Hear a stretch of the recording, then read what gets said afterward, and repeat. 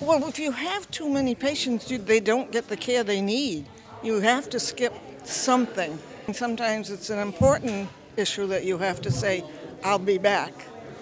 You know, and, it, and then you feel terrible because you feel you're not doing what you should be doing. And I think it's important to cut the load down a little so that you can give each person what they need.